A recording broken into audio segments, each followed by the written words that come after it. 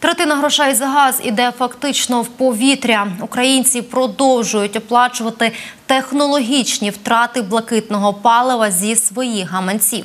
На цьому наголосив народний депутат, лідер партії за майбутнє Ігор Палиця. Він зауважив, за останні 5 років технологічні втрати газу зросли заледве не наполовину.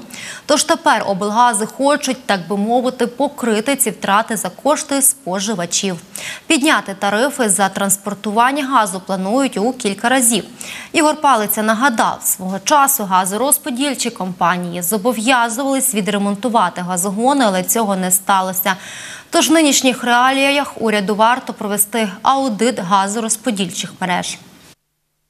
Під час приватизації нові власники газорозподільчих компаній брали на себе інвестиційні зобов'язання, у тому числі щодо ремонту і модернізації газогонів та обладнання. А тепер вони вимагають збільшити тариф на розподіл газу в 3-4 рази, бо ці ремонти заганяють їх у борги. Забаганки облгазів викликали потужний спротив представників місцевої влади по всій Україні. Після цього в уряді заявили, що підстав для зростання тарифів немає. Це лише пропозиції облгазів. Але питання стану газових мереж і технологічних втрат залишається відкритим. Якщо облгази не зможуть купувати газ для ВТВ, вони будуть відбирати його з газотранспортної системи та продовжать нарощувати мільярдні борги перед державою. Станом на листопад 2021 року сукупна заборгованість облгазів склала 12,5 мільярдів гривень. Партія за майбутнє пропонує кабінету міністрів провести аудит стану газорозподільчих мереж. Це дозволить встановити реальні обсяги технологічних втрат газу та обґрунтований тариф на його розподіл.